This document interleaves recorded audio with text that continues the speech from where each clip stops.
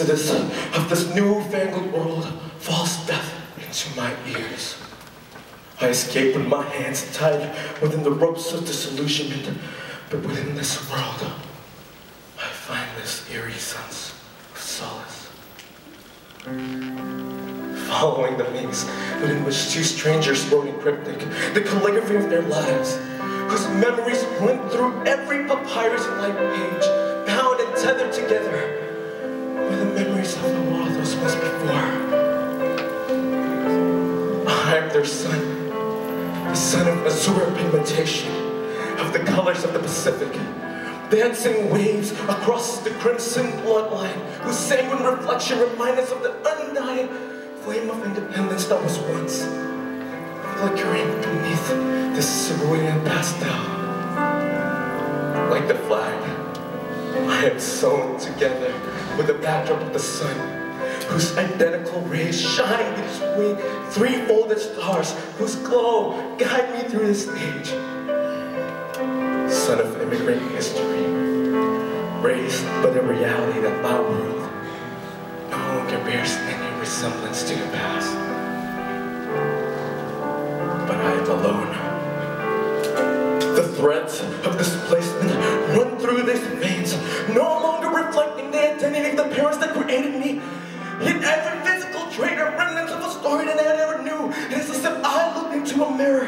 and saw no reflection of me at all.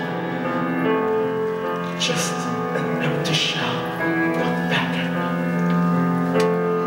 This brown flesh, which makes me nothing more than human and vulnerable. I yearn for the immortality of their love. But what if I confess to you that I no longer knew myself before the ghosts of my parents' past visiting me?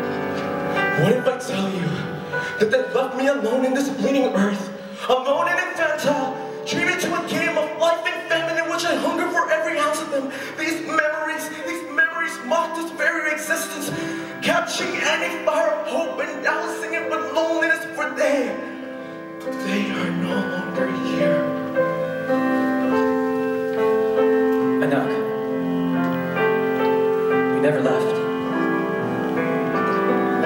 You forsaken me? Anak, we've been here since the beginning. The tip of my tongue is frozen, shut down when the lyrics of which I can't hear nor understand. The words and the lyrics made it so difficult for me to remember. And yet,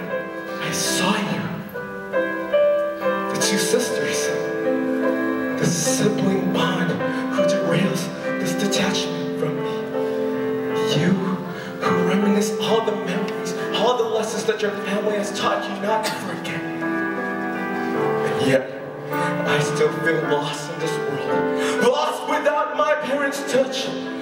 But then I saw you, the son who came back. You who fell beneath the physical vices of lust and liquor of the human fragility that made your soul seem so weak. You came back. You held on to the beads of your faith, your family. You held on to them and in open arms realized the mistakes that held you hostage. It is as if angelic visage cradled you back to the womb that nurtured your soul. And yet I still feel so discolored. Not realizing the heroic bloodline within me. But would you have believed me that these eyes saw La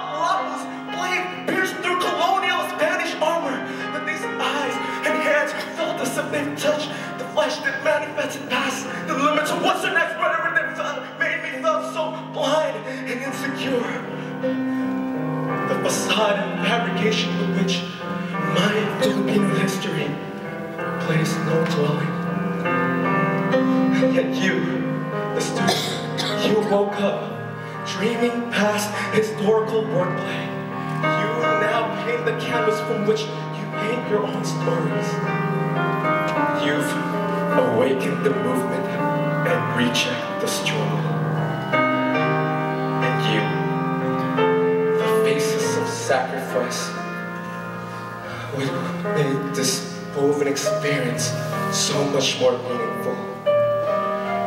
You, who engineered change in this campus, but more so, taught us not to forget and to cherish every single ounce of life that we may have taken for granted. For every brushstroke, every color, and every hue of your love still remain true and vibrant today. And as the memories of the past form a silhouette of hope, we rebuild, we reflect and we remember. And though my parents have left their stories unfinished, I now see this isn't just my legacy. This, this is, our legacy. legacy. Ito ang aking pamana.